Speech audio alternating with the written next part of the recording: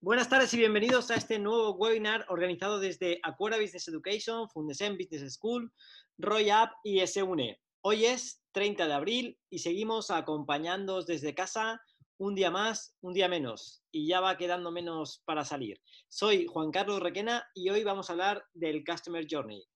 Pero antes, y aprovechando la temática, me gustaría presentaros la nueva edición del Executive en implantación de experiencia de cliente, un programa que impartimos desde Fundesen y Acuera con el aval de DEC, la Asociación Nacional para el Desarrollo de la Experiencia de Cliente. Actualmente vivimos en un entorno competitivo en el cual encontramos productos y servicios muy similares, incluso idénticos, por lo que las organizaciones deben ser capaces de generar un vínculo emocional con el cliente para conseguir diferenciarse de sus competidores. La experiencia de cliente se ha convertido así en una prioridad para todas las empresas que tienen como objetivo poner al cliente en el centro a través de herramientas y modelos concretos capaces de diseñar y medir y controlar esa experiencia, identificando todos los canales y puntos de contacto y diseñando experiencias memorables mediante el control de los momentos de la verdad. Para todo ello es clave que cada organización cuente con una metodología probada a la hora de diseñar una estrategia e implementación de esa experiencia de cliente. El programa se estructura precisamente en base a la metodología probada de DEC de la onda de cliente. Identidad única, impulso organizativo, implicación de las personas, interacción con el cliente, interpretación y acción. El curso proporciona contenidos y herramientas para poder implantar la experiencia de cliente en la empresa. Para aquellos alumnos, además, que quieran certificarse, el programa te va a preparar ¿vale? para el examen de certificación. El curso incluye la cuota de DEC ¿vale? durante un año y el libro de la onda de cliente precisamente de DEC, ¿vale? aparte de todos los materiales que se van a proporcionar durante todo el curso.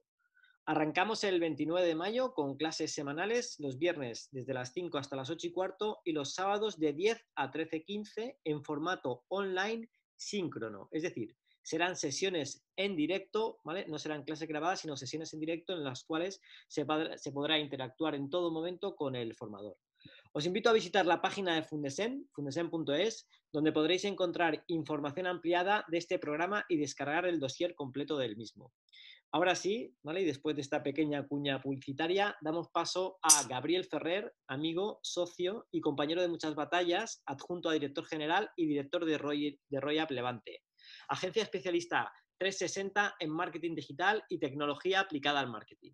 Con oficinas en la Comunidad Valenciana, Alicante, Valencia, Coruña, Madrid, eh, LATAM, México, Colombia, con un equipo de más de 170 especialistas, con un ADN digital y vocación internacional, son capaces de trabajar en 14 idiomas y que nos está acompañando ¿vale? en todos estos webinars que llevamos realizando desde el confinamiento. Es una agencia que acompaña a empresas de muy diferentes sectores en sus procesos de transformación digital, con un enfoque muy orientado a la medición de, de resultados tan importantes hoy en día y que cuenta con un equipo de profesionales, como hoy vais a poder comprobar con Luis Fantini, entre uno de los ponentes que va, a participar hoy. Gaby, buenas tardes. Juanqui, buenas tardes. Buenas tardes a toda la audiencia. Encantados de que contéis con nosotros desde Roya para participar en estos webinars, sobre todo con un enfoque más orientado al ámbito digital.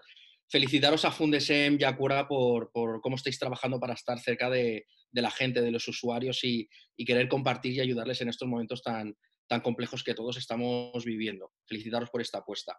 Eh, desde Roya, pues cuando eclosionó esta crisis, pues vimos también que era una gran oportunidad pues de no solamente estar cerca de, los clientes con los que trabajamos, sino de aquellas personas que, así lo quisieran. Y justamente nació también esta vocación de compartir con escuelas de negocios como son Fundeseño y Acora, lo que nosotros le llamamos el Academy, la Royal Academy, ¿no? que es un espacio donde, entendiendo que estamos en un momento complejo, que lo vimos como un gran reto, como un reto difícil de superar, pero que podemos superar, y además un reto en el cual eh, nos va a permitir aprender mucho y transformarnos.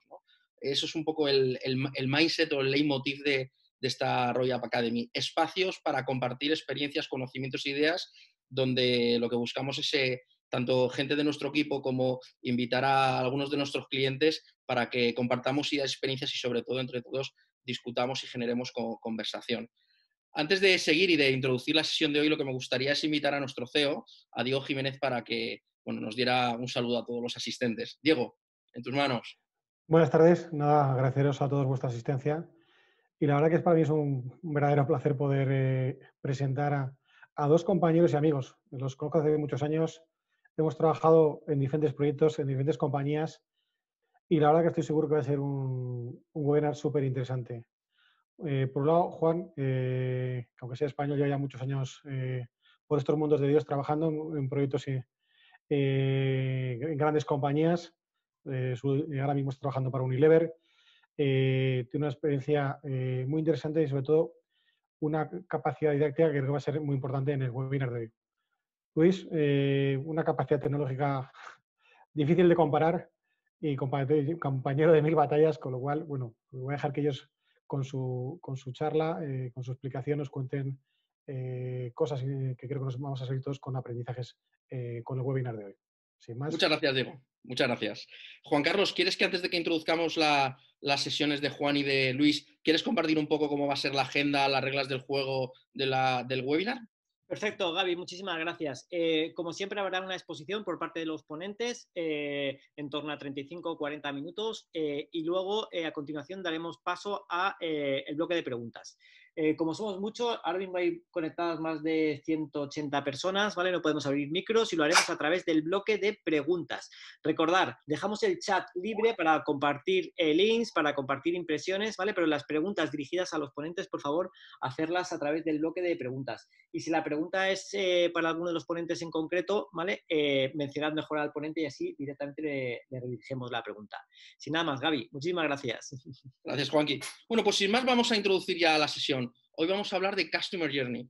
Vamos a hablar de nuestros clientes, pero no solo de nuestros clientes, de nuestros usuarios, de nuestros consumidores. Y en este caso contamos con, dos invitados tremendamente especiales. En primer lugar, Juan Flores, Head of Digital en Osval del grupo Unilever. Ha desarrollado además diferentes cargos directivos en empresas como Siemens, como Thermomix, eh, coautor del libro Digital más Marketing and viceversa, uno de los aparece una de los rankings de top 10 libros de digital más leídos en 2020. Eh, Juan, eh, agradecerte enormemente que hayas aceptado nuestra invitación. Sabes que, la agencia siempre está encantado de, todo este tiempo que venimos trabajando con, vosotros y que encima hayas querido estar hoy para compartir conocimientos, aprendizajes con, nuestra audiencia. Encantados de que estés hoy con nosotros. Muchísimas gracias a vosotros por venir. En segundo lugar, contaremos con nuestro director general de Innovación y Tecnología, Luis Fantini, del cual él ya lo sabe, pero yo me declaro, me declaro fan. ¿Vale? Y bueno, pues entre los dos eh, vamos a intentar pues tener unas ponencias en torno a 20, 25 minutos eh, que creo que nos van a contar cosas muy interesantes. Eh, Juan nos va a contar su visión desde sus propias experiencias y después Luis le va a dar más un concepto un poquito más, más de cierre estratégico de cómo sobre todo desde las empresas, desde las empresas donde estamos, sean multinacionales, pymes, desde los retos que tenemos, cómo podemos, digamos, entender cómo diseñar adecuadamente ese customer journey para relacionarnos adecuadamente las marcas con nuestros usuarios, consumidores y clientes. Sin más, Juan, adelante.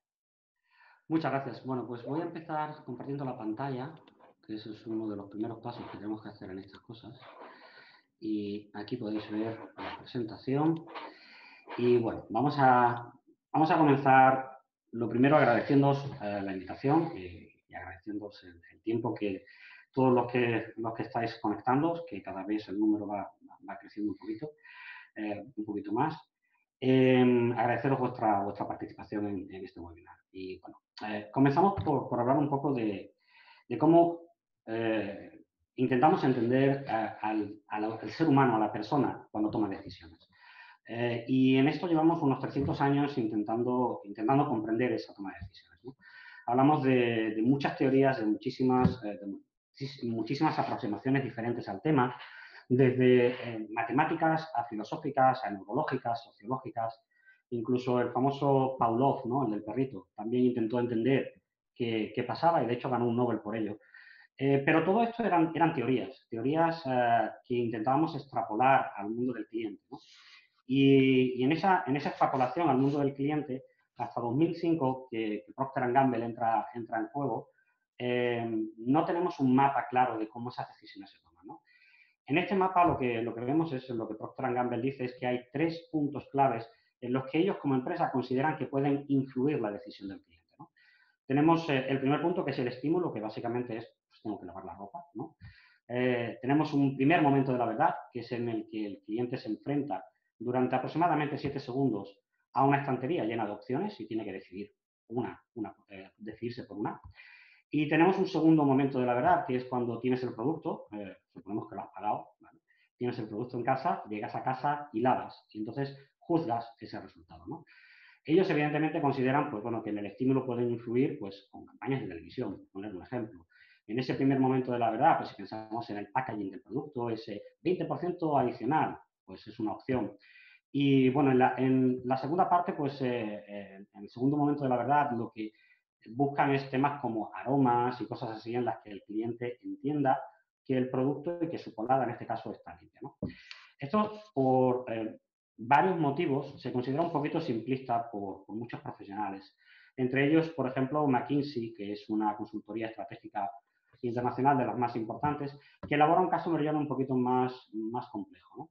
Y habla de, de, que tiene una, una consideración inicial eh, el, cliente, es decir, dice, tengo que lavar la ropa, y empieza a hacer una evaluación activa, es decir, empieza a poner pros y cons en, el listado de, posibles candidatos. Llega el momento de la, de la, compra, y en ese momento de la compra, eh, hablamos de 2009, el tendero de toda la vida es una persona muy importante, porque es el experto al que creemos, ¿no?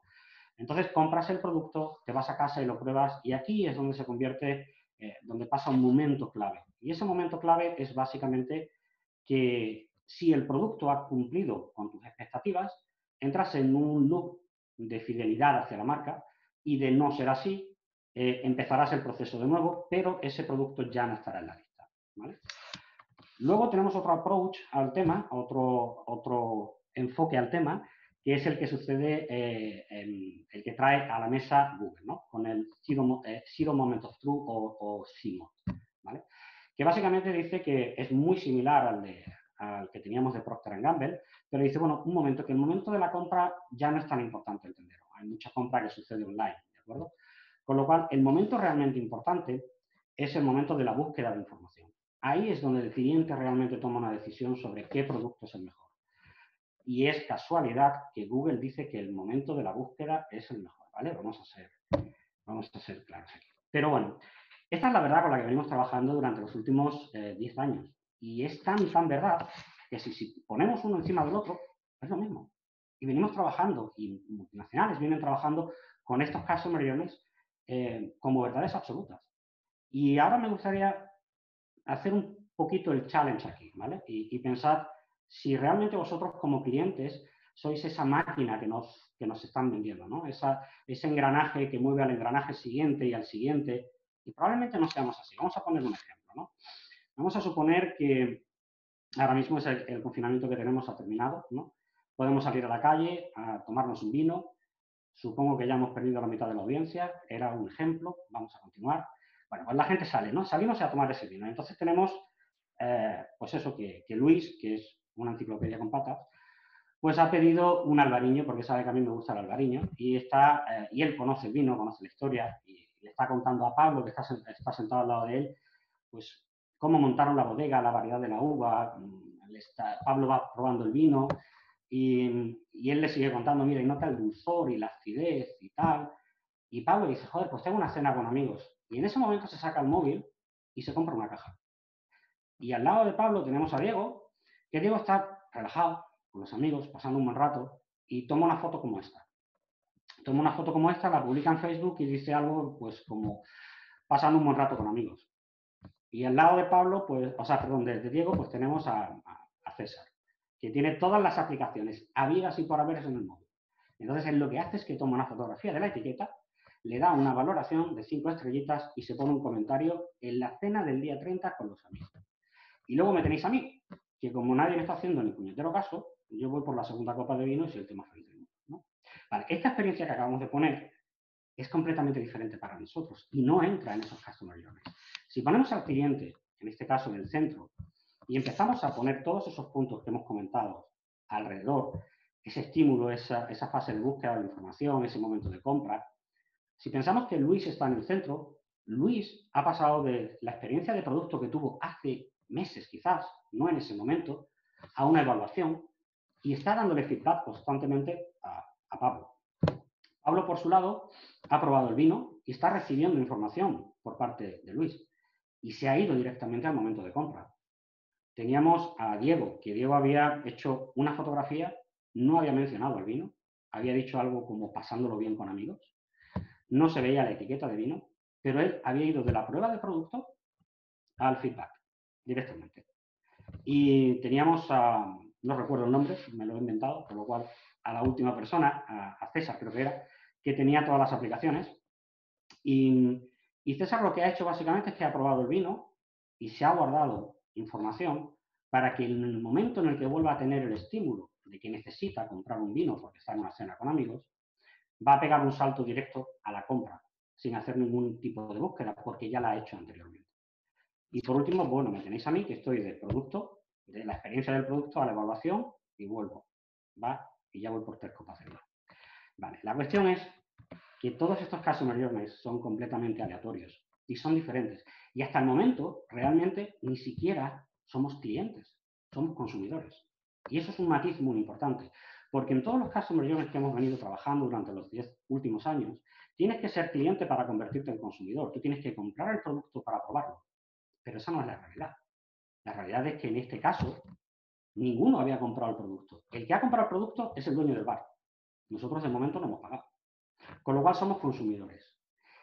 Y esto es una experiencia mucho más, o una aproximación mucho más real a lo que somos nosotros como clientes. Porque, volviendo a la primera diapositiva, somos personas. Y como personas tenemos que tomar decisiones.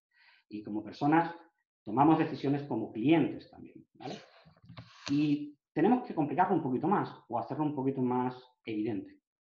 Y aquí entramos en los círculos, eh, en el círculo que yo llamo el círculo de, influencia. Porque no estamos solos en este mundo. Entonces tenemos a un montón de cosas, un montón de gente y un montón de, de situaciones que nos influencian. Em, estos que están aquí mencionados son algunos de los más genéricos, pero cada Customer Journey que generéis vosotros tenéis que considerar cuál es vuestro círculo de, influencia. Si hablamos de sentimientos, yo creo que el sentimiento principal aquí va a ser siempre el de confianza. Eh, cualquier relación que hablemos, eh, ya sea una relación personal o una relación de negocio, tiene que estar basada en la confianza. Si no confío en mi pareja, no voy a poder tener una relación. Si no confío en mi amigo, no lo puedo llamar amigo. Si no confío en un proveedor, nunca le voy a comprar un producto. Tenemos a influenciadores. En este caso, si pensáis en el caso Journey que hablábamos antes, Luis ha sido el influenciador total de Pablo, por completo. Pablo no se hubiera planteado comprar una caja de vino si no fuera por todo el apoyo a ese proceso de compra de información que le ha dado, que le ha dado Luis. El poder adquisitivo, por supuesto, si no lo puedes pagar, no vas a comprar el vino. ¿no? La necesidad real, este es, este es, un punto muy interesante. ¿Cuál es la necesidad real de lo que estamos, eh, de, este momento que hemos descrito? ¿Era tomar un vino o era compartir tiempo con amigos? ¿Y el producto en este caso ha mejorado esa experiencia o no? Los competidores, por supuesto, que influyen, lo que hacen los competidores. No podemos ignorarlos. Si en esa carta de vinos tuviéramos eh, vinos de mejor calidad a menor precio, probablemente no estaríamos tomando el que estamos tomando y estaríamos tomando otro. Y bueno, la experiencia completa. Si pensáis aquí, por ejemplo, el, ejemplo más claro, eh, os voy a poner un ejemplo para, entenderlo mejor. Eh, que vais a, ese hotel de ensueño, ¿no? Estáis en ese hotel, la cama es maravillosa, tenéis unas vistas del mar estupenda, eh, la comida es de escándalo, todo es genial. Y llegas al baño y resulta que hay una bombilla rota. Entonces te bajas a la reacción y dices, oye, mira, está todo estupendo, pero es que se me ha roto una bombilla. Y dices, ah, no, no, la bombilla la tiene que pagar. Eh, oiga, pero que ya estaba rota. Ah, no, no, lo siento, pero la tiene que pagar. Cuando volváis a TripAdvisor o el portal que sea a dar un feedback, no lo vais a dar sobre la habitación ni sobre la comida. Vais a dar sobre la experiencia completa. Y en este caso, un señor que ha tenido un mal día y un euro con 50 acaba de fastidiar una inversión de millones. Porque ese feedback que va a dar, que vais a dar como clientes, no va a ser positivo. Y todo esto está a nivel de marketing, eh, algo que tenemos que ir evolucionando, algo que algunas empresas eh, internacionales ya estamos implementando. Y, en el que yo creo que, por supuesto, por eso lo hago, creo que va a ir en, esa dirección. Cuando lo intentamos aterrizar un poco más al mundo de, digital, que, nos trae a este webinar hoy, tenemos que pensar cómo, cómo entramos en Internet, por qué abrimos un navegador de Internet. Y principalmente abrimos un navegador de Internet por cuatro motivos. Por temas de información, damos o recibimos información, comercio o negocios, entretenimiento o uso y networking y colaboración. Y lo más importante del modo mental que tiene el usuario cuando habla el navegador es que nosotros podemos predecir ese modo, modo mental. Y os doy un pequeño tip en el que podríamos eh, encontrar esa forma de hacerlo. ¿vale? Yo os doy cuatro keywords para SEO, por ejemplo, y vosotros mentalmente las ubicáis en alguno de los cuadrantes. ¿no? ¿Qué es un iPhone? Eh, comprar un iPhone. Juegos para iPhone. Y em, desarrollador de aplicaciones para iPhone. Habéis colocado ya, ya sabéis el modo mental que ese usuario que ha puesto que es un iPhone tenía. Evidentemente, estábamos buscando información. Y si tú estás en el modo mental información y yo te pongo una oferta del 50%, no vas a comprar. Porque tú no has tomado la decisión todavía. Entonces, estos modos mentales son muy importantes cuando desarrollamos nuestras estrategias de, digital. Y lo más importante, se pueden predecir. Se pueden predecir y se pueden utilizar. Habéis visto aquí que, eh, bueno, eh, volviendo un poco a lo del tema de, digital, eh, hay un círculo más que podemos añadir, que es el de las plataformas. al igual que en el círculo de influencia, las plataformas em, pertenecen básicamente, o sea, son, son vuestro propio ecosistema. Así que no toméis las plataformas que están aquí mencionadas como son los que tienes que tener, sino es plataformas muy genéricas, ¿no? que casi todos de una forma o de otra tenemos. Estas plataformas, pues, a ver, si nos cuadramos un poco en la parte superior, si no damos confianza en nuestra web, esos sentimientos que hablábamos, en la fase de búsqueda de información del cliente, el Customer Journey va a ser muy cortito, muy, muy, muy cortito. Eh, si no tenemos una tienda segura, y una tienda online, pues no vamos a vender online. Tan sencillo como eso. Sí, y hay un, punto aquí que a mí me gusta mucho, por ejemplo, que es la, parte del how to video, ¿no? estos vídeos que explican cosas. Pensad, en, por ejemplo, pues un robot de cocina del cual no vamos a decir el nombre, ¿de acuerdo? Pero un robot de cocina que tiene, eh, es un robot de cocina, tiene una funcionalidad. Pero si tú creas video recetas para hacer que la experiencia sea aún mejor, la evaluación que van a tener de ese producto va a ser mucho mejor. Porque no es en la utilización del producto, es cubrir la necesidad real. Y la necesidad real de este robot de cocina no es cocinar, es cocinar fácil, cocinar rápido, cocinar sabroso, sin ensuciar. Eso es lo que estamos hablando. Entonces, cuando tenemos todas estas plataformas, que vuelvo a repetir que son eh, un poco genéricas en este sentido, eh, lo que tenemos que tener en cuenta es que podemos traer los modos mentales al caso Journey, esos modos mentales de digital que hablábamos. Entonces, si tenemos a alguien en el modo mental información que con estrategias de SEM, con estrategias de, de SEO, van a aterrizar en nuestra web y le vamos a dar esa confianza en su momento de búsqueda de información, en ese momento de research, tenemos muchísimo, muchísimo ganado. Y aquí es donde tenemos que mirar eh, principalmente y con esto voy a, voy a concluir. Eh, lo digo más que nada para que Luis se prepare por si estaba despistado. Con esto voy a concluir.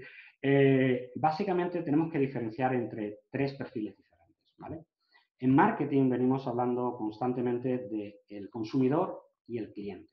Para aquellos que no termináis de ver un poco la diferencia, os pongo un ejemplo que me dio mi profesor de marketing hace muchos años y que me encanta, que es que el consumidor, o sea, en Navidades, el consumidor son los niños y el cliente son los papás. ¿vale? Pero cuando vamos al mundo de digital tenemos que añadir un rol adicional, que es el del usuario. ¿De acuerdo? Entonces, si tenemos una tienda de juguetes, por poner un ejemplo, tenemos que hacer una tienda lo suficientemente atractiva para que el consumidor, es decir, el niño, lo, eh, lo pase, lo pase bien, encuentre el juguete que, que estaba buscando, pero tiene que ser lo suficientemente segura y lo suficientemente usable para que el papá o la mamá ponga su tarjeta de crédito como clientes. Pero en este caso los dos son usuarios de la misma plataforma. Entonces, cuando vemos todo este Customer Journey, vemos la gran variedad de posibilidades que hay, ¿no? esos movimientos aleatorios, prácticamente impredecibles del cliente, en este caso, tenemos que ver cómo esos movimientos pueden ser predecidos, planificados y ayudarnos a convertirlos con la automatización del eh, user journey, en este caso, del, viaje del usuario, de, esos canales de, uso del usuario. Y bueno, básicamente con esto creo que le puedo pasar el, testigo a, Luis eh, y luego ya tendremos algo de tiempo para, para preguntas.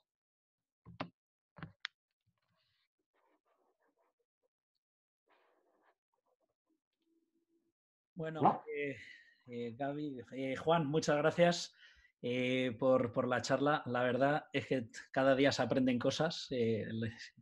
eso es lo bueno de, de estar relacionado contigo y colaborar codo con codo. me decís, yo creo que ya veis mi pantalla. A ver, básicamente lo que, lo que cuenta Juan es una de las claves, ¿no? Y donde realmente eh, no se invierte el tiempo suficiente o necesario eh, para entender precisamente cómo son nuestros consumidores y cómo es el momento. ¿no? Y eso es importante porque si no hacemos ese ejercicio y no ponemos eh, las herramientas por detrás para poder definir en qué momento está y, poder captar todos esos inputs que van generando los usuarios y cómo vamos evolucionando, pues difícilmente vamos a poder llamar la atención y por lo tanto convertir los usuarios.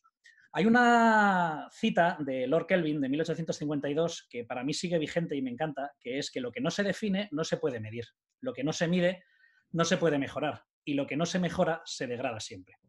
Y este punto yo creo que es eh, importante. Eh, hay muchísimos proyectos eh, y muchas iniciativas en digital que se lanzan, pero tienen definiciones pobres. Y definir tampoco significa volverse loco, definirlo una vez y dejarlo y no volver a definirlo nunca más. De hecho, en, digital y en el entorno en el que nos movemos, tienes que estar continuamente validando modelos, revisándolos, porque esto está en, continuo, en continuo movimiento. Y luego la parte también muy importante es la medición, es ver que realmente las cosas, las teorías, los elementos que vamos implementando, pues que realmente están consiguiendo los objetivos o los resultados que, estamos buscando. eso, eso es importante porque si no podemos medirlo y por lo tanto eh, no tenemos... Hola, se me acaba de colgar el ordenador. No, ah. Luis, te escuchamos, ¿eh? Ah, sí, sí, no, es que se me acababa de colgar la sesión y no sabía si se me había, si se me había caído la sesión. Lo, que no aparece es en formato presentación, ahora lo estás poniendo. Ahora estoy, perfecto. Y ahora, ahora sale tu cámara, ahora te vemos, perfecto. Bueno, pues seguimos. Entonces, si no podemos medir, difícilmente vamos a, poder mejorar.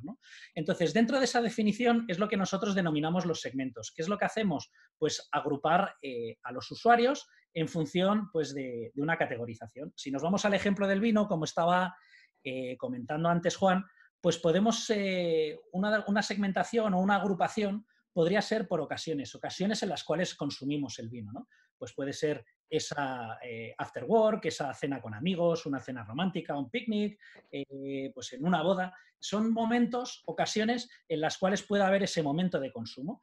¿Qué es lo que hacemos o qué es lo que planteamos eh, normalmente y se trabaja conjuntamente desde el lado agencia ¿no? y con, con la parte cliente? Pues miramos luego también la profundidad en nivel de búsquedas que pueda haber. Eso se trabaja también codo con codo con el equipo de SEO. Eh, miramos eh, volúmenes de búsquedas, eh, miramos la competencia, miramos la cantidad de contenidos que hay sobre un territorio y otro para poder abordarlo. Y lo que hacemos luego es todo eso extrapolarlo pues dentro de lo que es el ecosistema digital, ¿no? Un poco como estaba comentando antes Juan. Pues ¿qué hacemos? Si yo sé que va a haber ocasiones o en ocasiones o en momentos es cuando puede haber momentos de consumo o gente que lo que está hablando es de tipología de vino, si es tinto, blanco, rosado o por denominación de origen, tipo de uva, pues es como luego vamos nosotros armando eh, lo que es la arquitectura de la información y lo que es la estructura del contenido, del site y cómo lo vamos a ir a mostrar. Eso es importante porque muchas veces eh, nos olvidamos de esa categorización y servimos pues eh, pan para todos, ¿no? Y ahí cogiendo el, el, título ¿no? de la charla que decía que no es café para todos, es importante que demos a cada usuario contenido para no hacerle trabajar de más, porque de cada vez eh, tenemos menos tiempo y de cada vez lo que estamos buscando pues es esa experiencia, como estaba comentando antes Juan, que sea eh, una experiencia agradable. ¿no? Eh, todo eso eh, podemos aplicarlo no solo en momentos o, en tipología de contenidos. Si eso nos lo llevamos al concepto funnel y en vez de ver el funnel en vertical como estamos acostumbrados a verlos, pues eh, lo podemos poner aquí en un concepto maya y, Luis, perdona que te interrumpa, ¿vale? Es que creo que estamos viendo tu pantalla, ¿vale? Al darle la presentación, ¿vale? si puedes cambiar de pantalla para que veamos... Pues lo pongo un momentito. lo digo. Si quieres me, me, quedo yo ahí mirando a ver, dale a, Dime si se ve Keynote. Se ve Keynote, ¿vale? Pero al compartir, ¿vale? Seguramente se te va al otro monitor, ¿vale? Y, eh, Pues, no hay problema, comparto pantalla y que todos los problemas fuesen como ese. A ver, eh, yo creo que ahora... Perfecto, Luis, genial. Ahora sí que se ve perfecto. Pues muchas gracias. Eh, vale, pues eh, viendo esto, pues lo que, lo que estáis viendo, ¿no? Es decir, tenemos la parte de que lo podemos llevar en horizontal y tenemos pues el momento de búsqueda, como estábamos hablando, el momento de compra y, y luego el momento de posventa. Todo esto pueden ser agrupaciones o segmentaciones que podemos hacer de clientes. ¿no? Y eso es importante, porque en función del momento en el que se encuentre, eh, y teníamos lo que hablábamos a nivel de usuarios, visitantes, posibles compradores, diferenciar lo que son compradores habituales, compradores recurrentes, el que ha hecho una o, dos o tres compras, pues si todo eso luego los vamos segmentando y clusterizando, a la hora de servir contenido, a la hora de servir ofertas y lo que se le llama el nurturing, eh, podemos trabajarlo eh, acorde a cada uno de esos segmentos. Nosotros aquí ahora, por ejemplo, en la siguiente pantalla estáis viendo un ejemplo de segmentaciones que, hacemos con cliente, ¿no?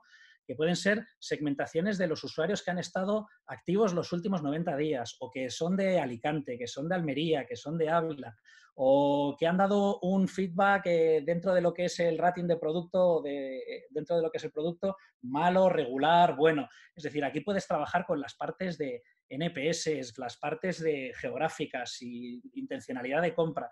Todo esto, como podéis ver, nos permite ir agrupando el universo de usuarios pues, para poder dar ese mensaje acorde al momento. Una vez que hemos definido eh, el ecosistema que podemos tener, hemos definido los segmentos en los cuales queremos trabajar y en las personas, ¿no? en los buyer persona y los arquetipos que hemos visto antes, pues empezamos realmente la construcción del journey. Y es importante cuando vamos construyendo ese journey, pues que luego pues, podamos medirlo en todo momento.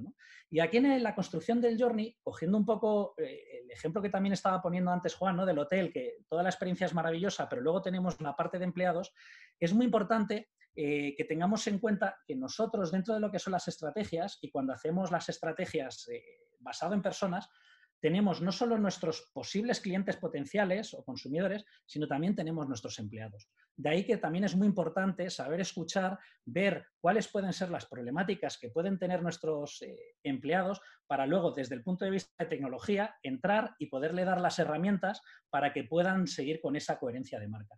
Y eso es importante porque si cogemos todo lo que es la medición, hay herramientas de escucha activa que nos permiten escuchar en redes sociales, la medición dentro de lo que es el site, lo que nos permite luego, eh, como os decía, eh, ver eh, mm, tendencias de búsqueda, etcétera, pues vamos a poder empezar a coger y hacer un análisis del target, ¿no? Es decir, podemos saber los momentos en que el usuario está más receptivo, ¿no? ¿Qué mira? ¿Qué dice? Eh, ver qué posibles stoppers ha habido, por qué no ha comprado, ¿ha habido algo que le haya podido echar atrás? no. Es decir, todo esto nos va a permitir definir todo ese ecosistema del perfil y los puntos de contacto que podemos tener y qué puntos pueden ser óptimos y qué puntos pueden ser no óptimos. Antes eh, Juan en el círculo ponía, por ejemplo, el, ecosistema que podía ser pues, tu canal de YouTube, tu, web eh, corporativa, tu eShop, podrían ser un blog, tus propias redes sociales, incluso puede ser tu tienda, tu punto de venta. Pues una cosa también muy importante es todo ese mapeo y toda esa definición, porque así podremos ver qué elementos son los necesarios que tenemos para medir qué información vamos a mostrarle en cada momento, pues basado en ese análisis y en el contexto en el que nos encontramos y así podremos contestar preguntas pues, eh, de quién, qué, por qué, cómo, cuándo, dónde, que son las preguntas necesarias pues, para poder construir una, una comunicación efectiva y por lo tanto eh, aplicarlo en nuestra estrategia. Aquí tenéis un ejemplo de cosas que se pueden ir midiendo dentro del comportamiento. Pues vemos que enviamos un email, el, usuario lee el email, le vamos dando scoring, que eso son cosas que se pueden hacer en las herramientas de automarketing, pues se va luego a ver una serie de recetas y todo esto nos pide permitir hacer ese perfilado de usuario pues para saber, oye, está pensando o este usuario consume mucho contenido relacionado con pescados. Eh, las carnes prácticamente no los tocan. Vemos también comida en familia. Todo eso nos puede ayudar a esa construcción de información de cliente y lo que es las estrategias de CRM propiamente dicha. Y eso al final pues, nos va a dar esas, esas fichas, ¿no? donde tenemos la definición de cliente, vemos eh, dentro del journey pues qué es lo que piensa, vemos los posibles puntos de contacto, qué es lo que hace, cómo se comporta y ahí podemos valorar la experiencia.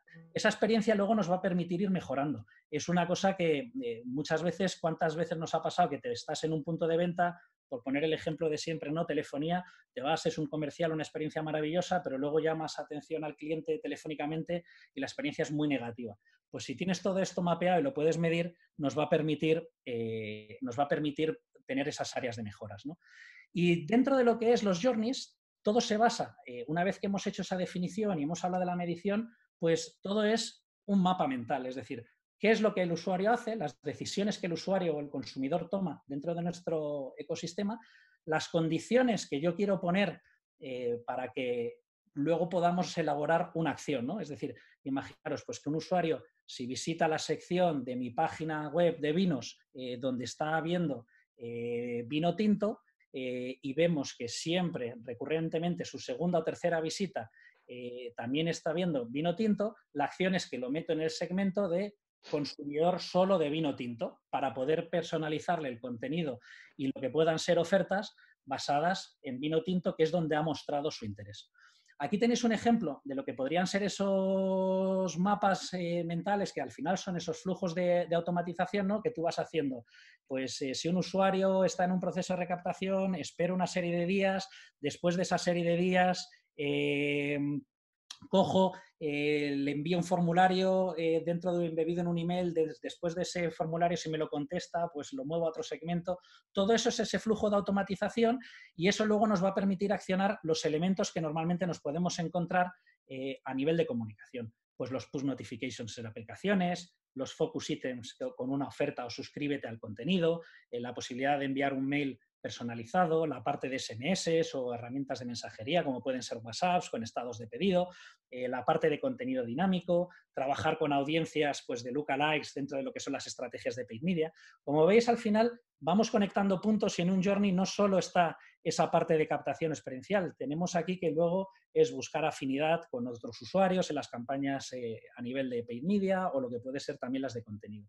Y esa parte de mejora cuando ya nos vamos, una vez que hemos medido todo esto, pues ¿qué es lo que nos va a hacer? Pues empezar a trabajar con elementos que no simplemente se queden en los emails de bienvenida, en los emails de pedido o el carrito abandonado o una vez que haces tu, primer, tu primera compra, eh, sino que lo que vas haciendo es accionando diferentes elementos para que luego los consumidores, y a mí esta frase también, eh, la verdad es que me gusta mucho, y Juan eh, la utiliza muchas veces eh, adaptada, ¿no?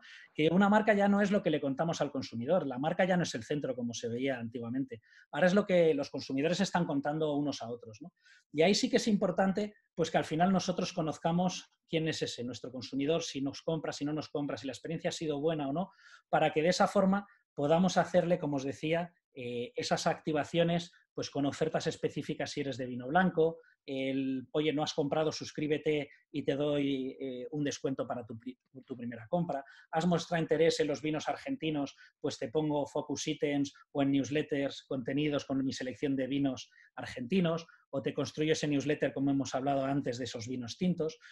En la parte de social media puedo construir contenido que pueda ser una guía de cómo comprar y encontrar buenos vinos eh, con un buen presupuesto y lo vamos construyendo en función de las audiencias y la gente que tenemos eh, dentro de nuestro site.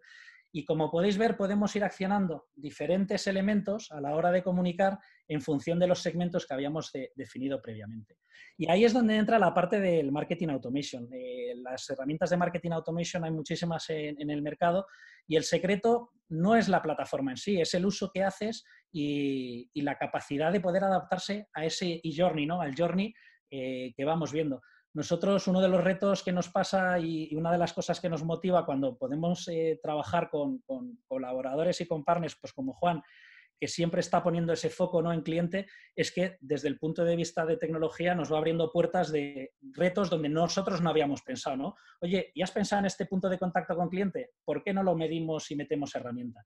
Y ahí es un poco como nosotros hemos estado evolucionando nuestra propia herramienta ¿no? y lo que estamos usando, que es la parte de, de Dash Suite, pues cómo vamos conectando diferentes puntos y vamos haciendo esos flujos, como estáis viendo, de pues cómo, cuál es la actividad del usuario, cómo interactúa, pues le voy dando scoring, eh, genero reportes y en base a eso le lanzo ofertas, ¿no? Porque al final eso es lo que nos va a permitir eh, incrementar eh, las ventas, conseguir el objetivo y para no enrollarme mucho más, pues aquí veis ejemplos de esos mapas también que vas viendo de cuáles son tus fuentes o, orígenes a nivel de tráfico para captación de leads, la parte orgánica, performance, los clientes con el boca oreja, si tengo leads eh, que me puedan venir del propio e-commerce, landings, y todos estos mapas que vamos abriendo es lo que luego con tecnología vamos automatizando después y vamos incluyendo, con las diferentes funcionalidades que te puede dar las herramientas de marketing automation, eh, que al final sirven para esa comunicación y para esa segmentación y medición para darle eh, la información en cada momento. Como quiero respetar eh, las preguntas, porque espero que haya muchas preguntas, eh, no voy a profundizar mucho más en esta parte y voy a dejar paso a las posibles dudas que pueda haber para que podamos contestarlas en estos 20 minutos que nos quedan. Muchas gracias. Muchísimas gracias, Luis. Y además, muchísimas gracias por ajustarte milimétricamente al timing. Fenomenal.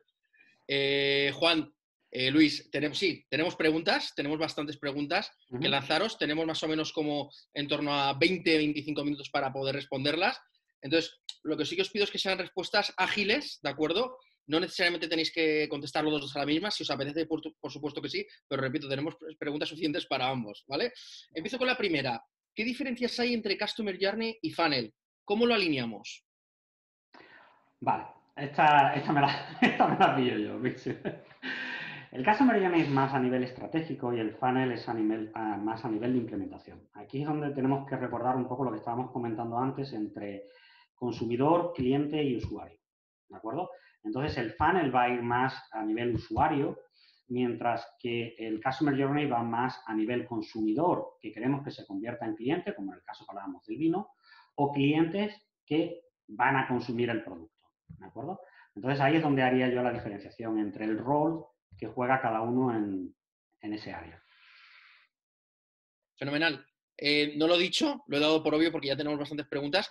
Eh, animar a todos los participantes, a los algo más de 200 participantes que tenemos, cualquier pregunta que queráis lanzar tanto a Juan Flores como a Luis Fantini, lo podéis hacer a través del chat y yo se las iré formulando. Segunda pregunta, ¿va a cambiar el Customer Journey tras el COVID-19? Luis, ¿tiras tú o tiro yo?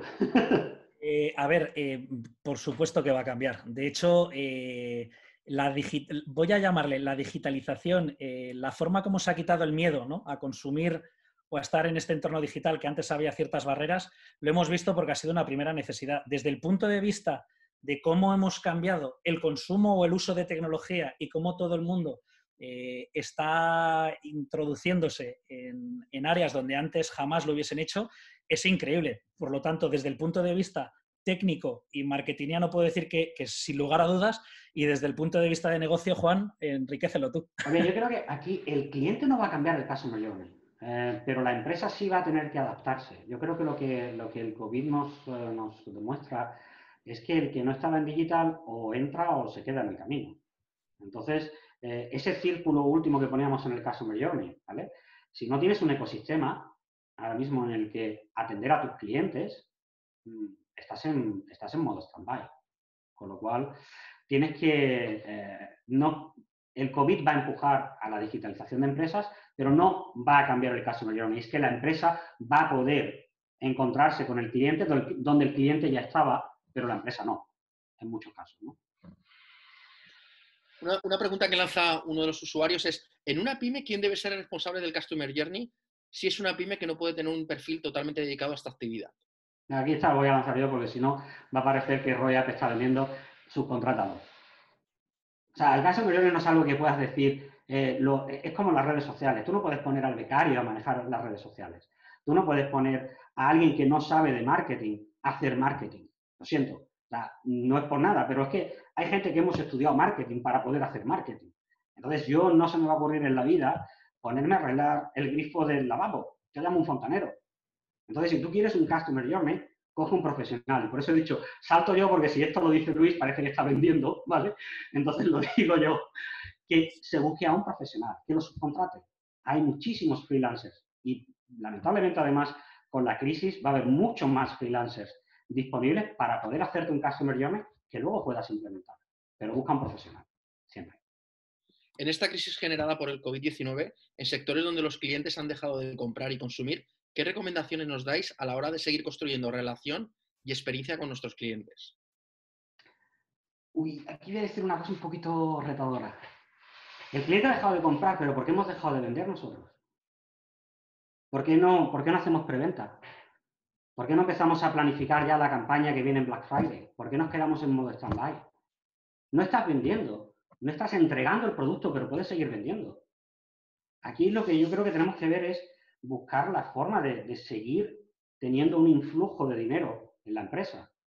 Y quizás los servicios o los productos los vas a dar en dos meses. Pero es que no creo que el hecho de que el cliente deje de comprar, es que hemos, hemos dejado de vender, que no es lo mismo. Totalmente. Y de, hecho, hay, Juan, hay ah, iniciativas que han pasado sin pena ni gloria, que casi no han tenido ruido, de cómo eh, sectores como puede ser el de restauración, eh, restaurantes que normalmente solían tener listas de espera o un cierto caché, estaban sacando packs experienciales para que los puedas comprar post-COVID y que los puedas disfrutar para mantener un poco esa actividad. Pero es verdad que se ha parado eh, y hay algunos sectores donde han parado radicalmente. Es decir, su actividad ha parado, no venden. Y, es, cierto lo que dice Juan. y es curioso porque es que eh, hay una, hay una cosa que yo no sé si nos damos cuenta, pero a final de año vienen Navidades, fijo. Entonces, ¿por qué no estamos haciendo preventa, campañas? ¿Vas a hacer en Black Friday este año que tienes el doble de tiempo para prepararte que, que has tenido ningún otro año, lo mismo que hiciste el año anterior?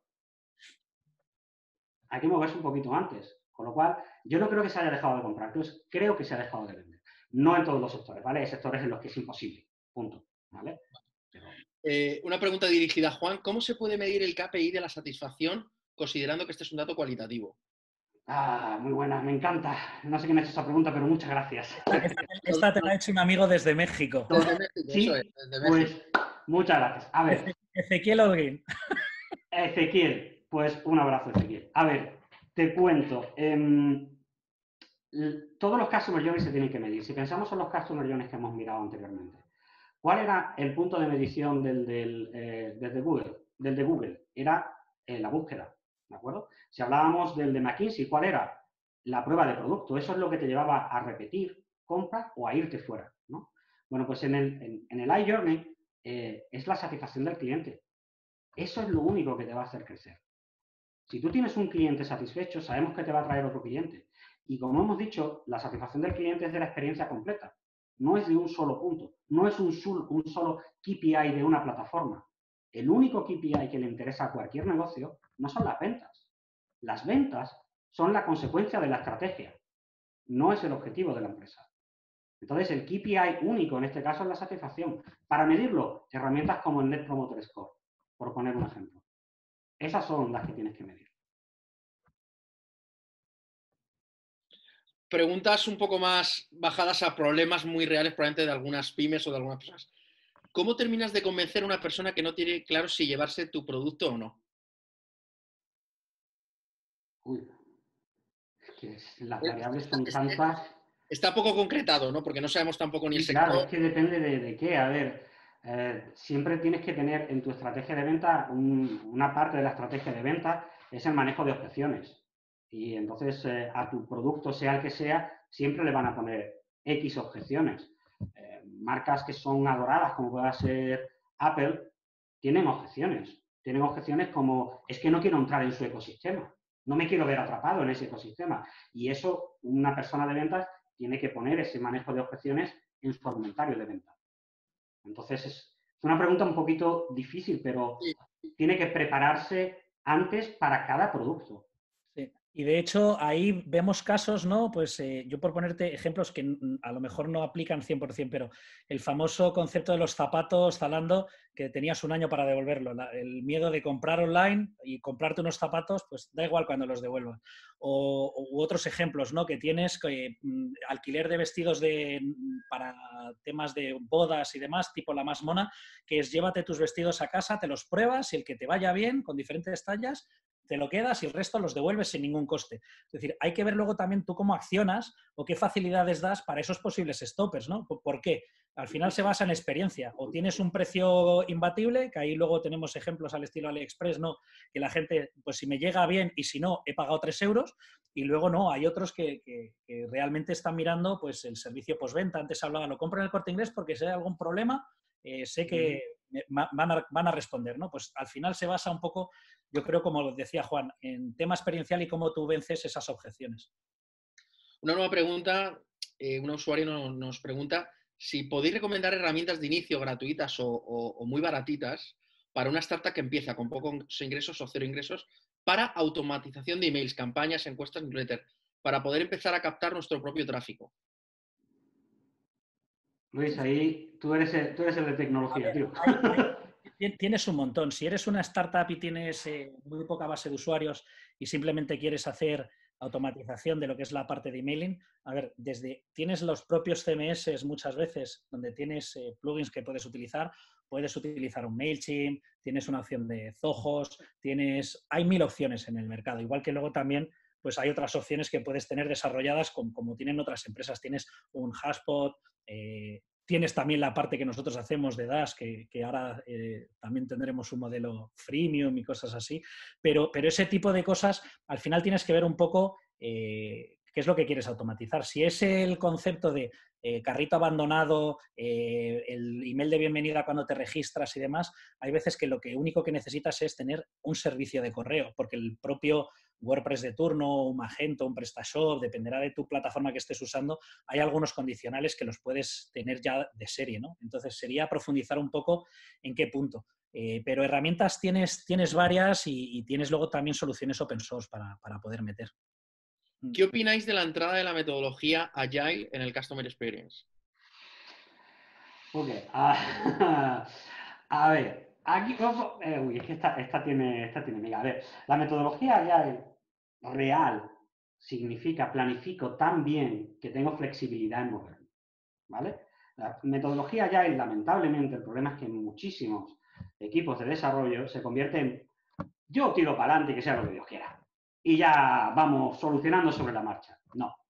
Entonces, eh, no, no, no la aconsejaría. La experiencia de usuario no es algo eh, para hacer al tuntún, salvo que sigas realmente una metodología allá. Es decir, tú tengas un objetivo real que quieres alcanzar a futuro eh, y entonces vas haciendo de forma flexible, de forma ágil, vas haciendo pequeños, pequeñas mejoras hasta llegar a tu objetivo. En ese sentido, sí, pero tienes que partir de la base de una planificación, digamos a cinco años vista, a tres años vista, y a partir de ahí te vas marcando pequeños hitos.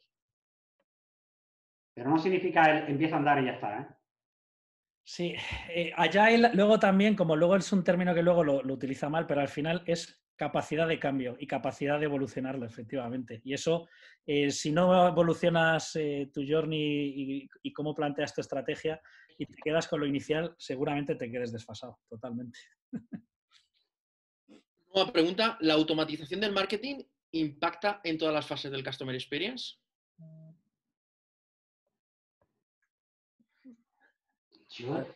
A ver, depende. Si estamos hablando de la experiencia de producto, eh, depende de qué producto, ¿no? Mm. Esa, no sé si termino de entender la pregunta realmente. Por eso no sé cómo responderla. Yo, si, si va por el tema de que tú en a nivel de automatización, desde lo que es la parte de captación, el momento de venta, todo lo que es el momento postventa, ese quality assurance, el dar seguimiento, puedes automatizar. Por ejemplo, si nos vamos a un entorno eh, como hablábamos antes, ¿no? De un posible robot de cocina. Pues tú puedes ofrecer contenido, eh, luego puedes hacer o automatizar que proponga recetas para usar ese robot de cocina, ¿no? O si tú tienes y te compras unos zapatos de piel, pues puedes ir luego trabajando, oye, ¿qué tal te han ido? ¿Cómo van? Recuerda que ahora viene eh, el buen tiempo y tienes que hidratar tus zapatos y te puedes dar ejemplos. Es decir, todo lo que es puntos de comunicación y todo lo que puede ser un journey basado en experiencia de usuario, puedes automatizar la gran parte, pero luego hay cosas que si vamos a la parte propiamente dicha, producto y demás, pues hay cosas que se pierden. por la parte que yo puedo entender a lo mejor por dónde va la pregunta. No sé tú cómo lo ves, Juan. Sí, es que em, no he terminado muy bien de la pregunta, creo que va por, como, tú lo estabas mencionando y, yo creo que en ese caso sí puedes automatizar muchísimo todo lo que sean puntos de contactos eh, o recomendaciones o, o acciones basadas en acciones eh, que el usuario ha tenido, eh, siempre y cuando estén linkadas con las plataformas online, se puede automatizar, si no, no. Eh, mm, la experiencia de producto es hacer, yo soy de Huelva, ¿no? Calar un jamón y comerte el jamón, pues hay poco que puedas automatizar ahí. Comes como un autómata, eso es cierto, ¿no? Pero no lo puedes automatizar. Entonces, por eso te digo, depende mucho del producto. Sí, hoy en día se pueden conectar muchas cosas y de hecho luego incluso la parte de experiencia in-store, ¿no? En propia tienda, si lo comunicas bien, pues podrías tener. Hay ejemplos luego también que veíamos, ¿no? Ejemplos de Amazon, cómo estaban midiendo el comportamiento en tiendas físicas offline, comportamiento de usuario, cómo eso luego lo extrapolaban online, pero no sé si va por ahí también la, la pregunta. Una nueva pregunta, creo muy interesante, muy abierta también, pero muy interesante. ¿Cómo creamos una cultura de empresa de Customer Experience de una forma sencilla? Juan, es tu especialidad. Eh, pide perdón y no pidas permiso. Ese es el consejo. O sea, mm,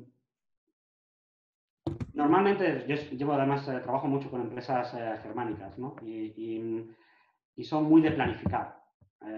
y entonces tiran muchísimo tiempo a hacer una implementación. Salvo que tú tengas lo que yo llamo un proyecto submarino, tú lo haces, no se lo dices a nadie, le presentas los resultados y entonces tienes todo el dinero que necesitas para, para hacerlo crecer. Es decir, eh, normalmente en, empresas, sobre todo en empresas pequeñas, tienes que mostrar para poder seguir, ¿vale? Por lo cual, piensa en un piloto, en un pequeño piloto que te permita, un pequeño proyecto que te permita mostrar lo que quieres y a partir de ahí podrás crecer a generar otras experiencias de usuario. Una nueva pregunta, ¿cómo consigues cara a cara un feedback con la persona. ¿Tiene importancia? ¿Cuán importante es la comunicación no verbal? Vale, esta, también tiene, tiene lo suyo. Luis, ¿le tiras tú o le doy yo? a ver, la comunicación no verbal es eh, muy importante. Lo que, es, lo que es cierto, que si nos vamos a la parte 100% digital, ¿no? Eh, ahí eh, se te complica un poco, ¿no? sí que es verdad que luego hemos visto como en establecimientos o en puntos de venta lineales están llevando todo lo que es la parte eh, a nivel de cámaras ¿no? y para ver eh, morfología de personas, estado de ánimo y demás, pues cuando está haciendo esa compra, ¿no? Y de hecho se han llevado, desde hablo desde el punto de vista tecnológico, para que veáis la importancia, eh, soluciones que iban con ahí, con inteligencia artificial para asistencia a personas con deficiencia visual, donde lo que hacían era medir tu comportamiento lineal y poder indicarle productos y demás, y también mapeaba la cara para ver cómo reaccionaba, para luego poder hacerle sugerencias, como eso luego también se está llevando eh, para, perfilar a usuarios, ¿no? Pero hoy en día la relación y las comunicaciones entre personas es persona a persona y es fundamental saber si estás encajando o no encajando. De hecho, si no tienes una comunicación visual, difícilmente vas a saber si es efectiva o no. Y ahí yo creo que es donde está el gran reto desde la parte de tecnología, y hablo desde el punto de vista tecnológico. Desde el punto de vista negocio, te dejo, Juan, que... Desde el punto de vista negocio, a ver, eh, cuando se hace un estudio de mercado, ya sea un estudio de mercado a nivel de entrevista, cara a cara con la persona, o sea a través de encuestas, sea tal, yo personalmente he aprendido más de estudios de mercado etnográficos, es decir, en los que se hace un social media monitoring y escuchamos lo que la gente piensa de nuestro producto, eh, que cuando le preguntamos a la persona que piensa de nuestro producto. Porque en el momento en el que haces una pregunta a una persona, de una forma o de otra la estás condicionando. ¿vale? Entonces, eh, por ejemplo, nosotros hicimos un estudio de mercado muy interesante para, abrir el mercado de Estados Unidos, para entender qué llama a la gente cocinar en una empresa en la que solía trabajar. Eh, y, puedes descubrir que, gente en Nueva York llama a cocinar, abre el microondas, tiene una bandeja y, y un botón, y gente en Texas, si no se tiran dos horas en la cocina, no están cocinando, están calentando. ¿vale? Y eso no lo vas a averiguar haciendo entrevistas, porque no es algo que ellos te vayan a decir realmente. El de Nueva York no te va a confesar que cocinar es tirar una bandeja en microondas. ¿vale? Pero cuando escuchas las conversaciones de redes sociales en abierto, entonces sí puedes extraer esos datos. Con lo cual, depende de qué información quieras sacar, no lo haría en cara a cara, lo haría con una monitorización de redes sociales. Ok. Un usuario nos pregunta, Customer Experience hiperpersonalizado, ¿es algo que debo tener en cuenta desde el principio o para un momento más avanzado de mi implementación de Customer Experience? No lo puedes tener en cuenta desde el principio, aunque quieras. No puedes tener algo hiperpersonalizado porque no sabes lo que el cliente te va a decir. Si vamos, eh, volvemos a la presentación un poco que teníamos en mente, ¿no? esas líneas, ¿cómo lo personalizas? si no sabes lo que va a hacer el cliente, no sabes lo que vas a comer mañana, no, tienes esa información, con lo cual tienes que ir aumentando posibilidad de, customer journeys haciéndolo cada vez más y en algún momento vas a tener todos, pero tienes que empezar por los más genéricos y los más sencillos y a partir de ahí ir creciendo. Sí. y además luego tienes que ir recogiendo también esa parte de feedback, ¿no? Que ahí luego también, eh, no toda acción que luego tú haces de personalización eh, es lo satisfactoria que tú a lo mejor eh, tienes en tu definición inicial, ¿no?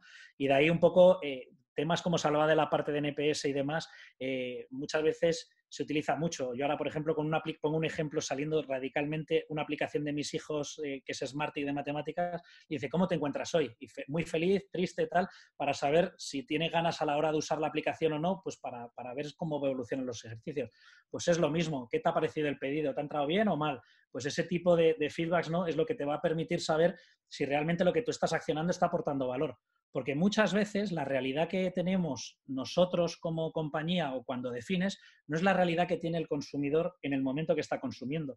Y muchas veces eh, podemos tener una tipología de clientes que nos compren en punto físico, pero en digital eh, cambian esa parte de comportamiento o incluso pueden ser diferentes. ¿no? Entonces, de ahí no puedes, como muy bien decía Juan, es imposible empezar desde el minuto cero con una hiperpersonalización sin tener una base de comportamiento y, de uso. Luis, nos hacen una pregunta específica sobre DAS. ¿Se puede realizar un Customer Lifetime Value en DAS? ¿Cuáles serían los momentos críticos para generar la acción? A ver, puedes definirlo eh, desde el mismo momento que tú cuando haces un journey y, condicionales puedes poner eh, condiciones, ¿no? Y puedes hacer pues elementos lo que te permita luego saltar un trigger, ¿no? Y puedas eh, generar una acción pues que sea de recovery y demás. Eh, ahí hay una parte que tienes que trabajar mucho con la definición de segmentos, es decir, cómo vas a clusterizar los usuarios eh, para ese, ese, lifetime value y luego en la parte del journey, ¿no? Pues eh, lo mismo, ahí puedes, puedes tener esos activadores. ¿Cuáles son los momentos críticos? Dependerá de cada casuística y de cada cliente. yo, por ejemplo, eso es uno de los temas que con Juan él está metido hasta la médula, eh, de cómo, cómo recuperar, cómo captar, cómo fidelizar. Nosotros ahí estamos haciendo un máster día a día, sobre todo por lo que os decía, cada negocio tiene una casuística muy, muy peculiar. Pero lo bueno que tienes con la parte de DAS es que como tú vas recogiendo mucha información y muchos datos, puedes aplicarlo luego eso eh, para, esa, para, esa, para esa activación. Ahí, Juan, tú si quieres poner un ejemplo tuyo, es que no quiero entrar en detalle de un sector específico.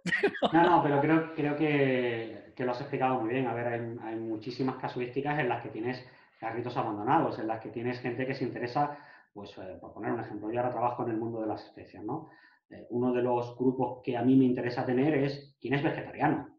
¿Cómo puedo averiguar eso? Pues capturando información, guardándola y creando journeys específicos para gente que es vegetariana para gente que adora la carne o que le encanta la barbacoa.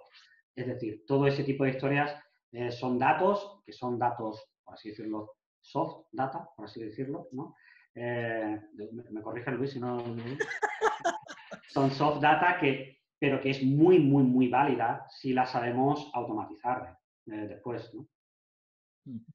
NPS nos da el índice de recomendación, pero ¿qué herramientas sugerís para recoger información cualitativa y que nos ayude a modificar momentos, comentarios que no estén siendo adecuados?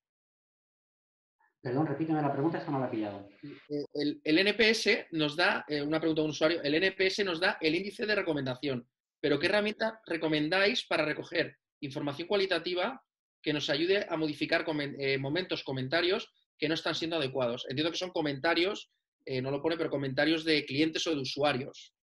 ¿Estamos hablando de moderación de plataformas o estamos hablando de... Es lo que no estoy entendiendo con, la, con esa parte. Eh, tengo más información que la que, la que ha formulado el, espectador, que es la que te he leído. Pues si alguien me lo puede aclarar, encantado de responderlo, pero no, no le he tenido del todo claro la pregunta. No sé, Luis, si tú lo has pillado.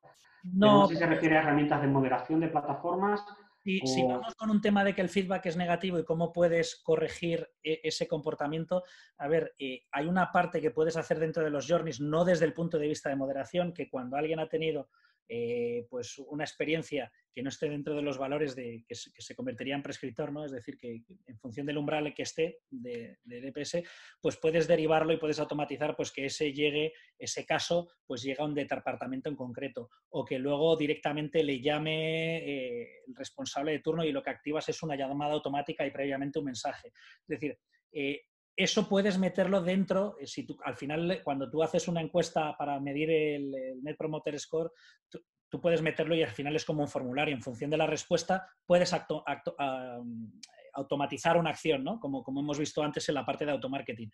Entonces, si tú eh, puedes decir que si la puntuación es de 1 a 3 haces una cosa, de 4 a 5 otra y whatever, ¿no? Entonces, esa parte eh, sí que puedes hacer que pasen consecuencias. Si nos referimos a contestar o moderar de forma automática, eso nosotros ahí normalmente no entramos porque yo creo, y además eso es valoración personal, ¿no? que al final es contraproducente, eh, porque, porque puedes encabritarlo más si hablamos en el punto de moderación o automatización de respuestas eh, tipo. Penúltima pregunta. ¿Cuáles consideráis que son las fuentes de datos más importantes a incluir dentro de mi dashboard de Customer Experience?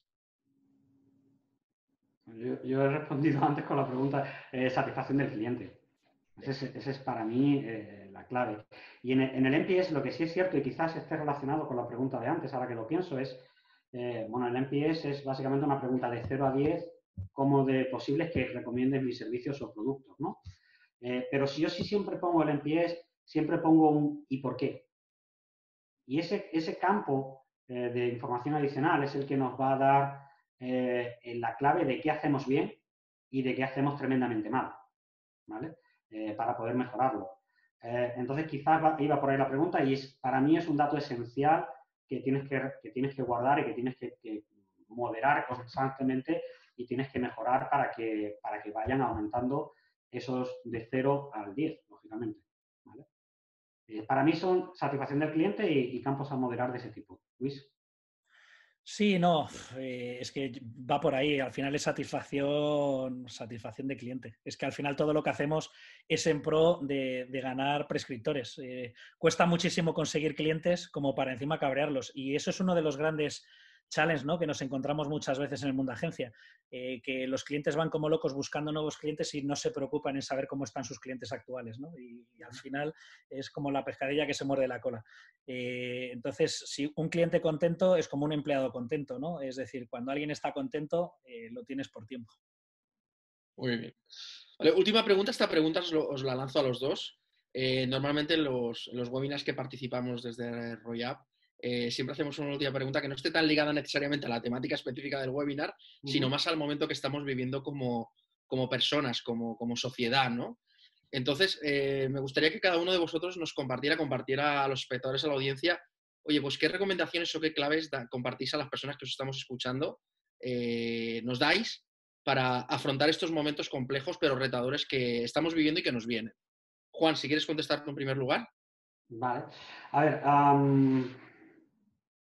lo primero que me gustaría decir es, de esta se sale, ¿vale? Porque yo, eh, que además vivo, vivo en, Suiza, como sabéis, estoy viendo las noticias y es de, o sea, de España y, de verdad, haced, solo un favor, abrir, eh, cuando termine el webinar, abrir el país, el mundo, me da igual, y contad cuántas noticias mencionan COVID, corona, pandemia eh, y cuántas no, ¿vale? es alucinante. Entonces, a ver, de esta se sale y no se sabe cómo se va a salir, pero se sale.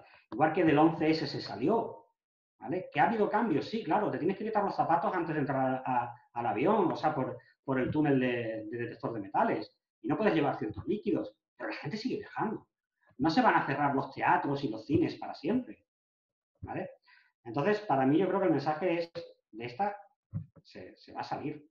Eh, pero cómo vamos a salir depende de cada uno de nosotros.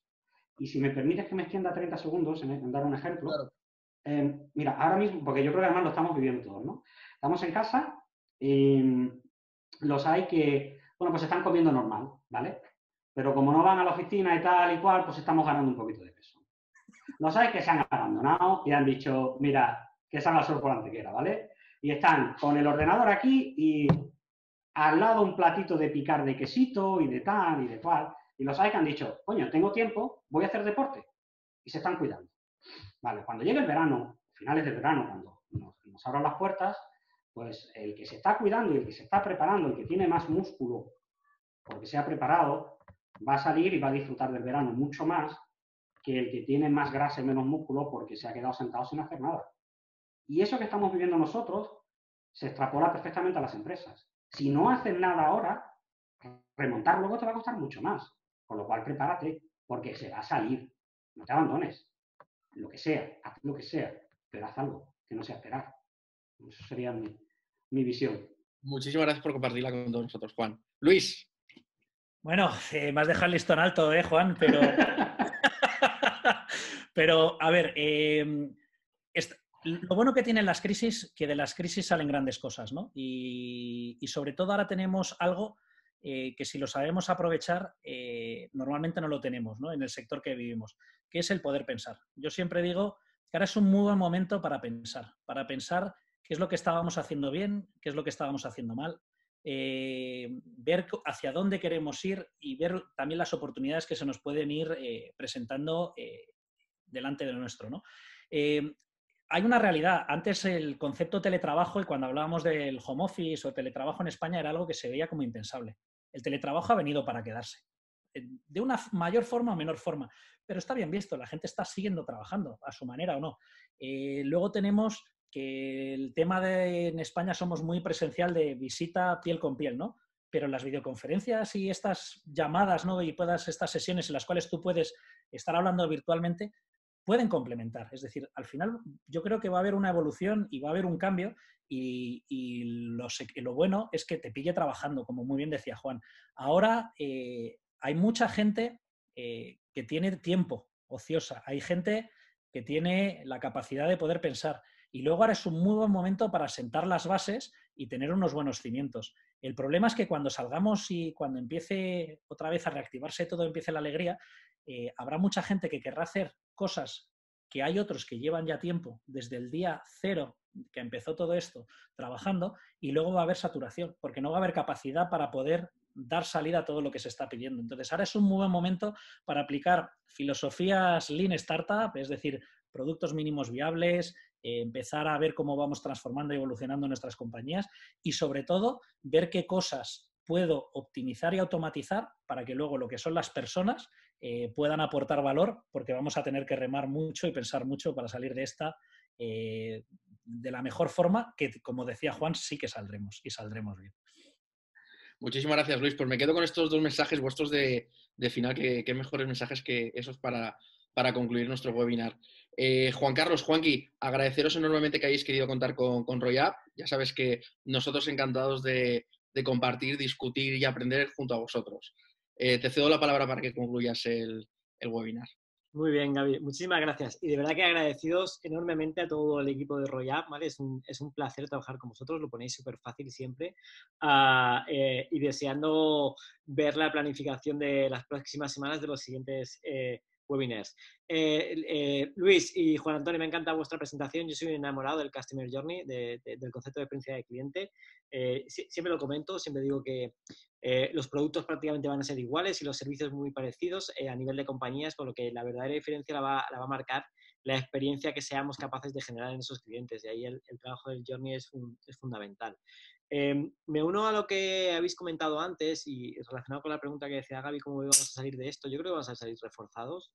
Eh, llevo, no sé si son 37, 38 webinars hechos y aún no he dicho, vamos a dejar 10 minutos de cortesía como hacíamos en las jornadas presenciales. O sea que de momento ya estamos siendo mucho, mucho más productivos.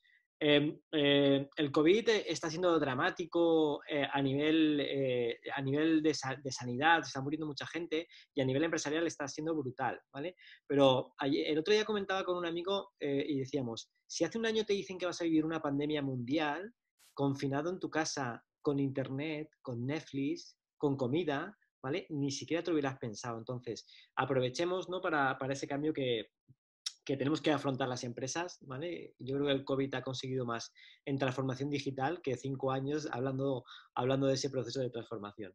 Y hay agencias como Rio y App, ¿vale? Van a ser muy, muy, muy necesarias en ese proceso de transformación de las organizaciones. Creo que ese proceso de transformación eh, que las organizaciones van a tener que dar eh, se va a basar en cuatro pilares. Cultura, vamos a tener que trabajar y flexibilizar la cultura, Vamos a tener que trabajar y mejorar esos procesos, vamos a tener que trabajar muy bien la orientación a personas y la tecnología va a ser un aliado. Y ahí Roy App tiene mucho, mucho que decir.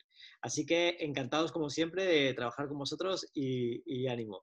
A nuestros asistentes, muchísimas gracias por una víspera de fiesta tener la convocatoria que hemos tenido, por encima de los 200 conectados. Y como siempre, eh, eh, os enviaremos eh, la presentación de los ponentes, el vídeo de, esta, de esta webinar y una pequeña encuesta eh, para que podáis valorar el webinar y nos podáis hacer recomendaciones de los temas que eh, a continuación eh, iremos preparando para las siguientes semanas. Aprovecho para recordar que el próximo 8 de mayo tenemos un webinar con Marta Ruiz, experta en experiencia de cliente y CX, CX en Manager en Grupo Volvo, y que va, nos va a hablar de cómo diseñar el Customer Journey perfecto. Así que eh, os invito a estar muy pendientes de la página de fundesen.es, ¿vale? De los siguientes webinars. Gaby, muchísimas gracias, un placer. Luis, Juan Antonio y Diego, nos vemos muy pronto. Chao. Muchas gracias. Muchísimas gracias a todos. Saludos, un placer.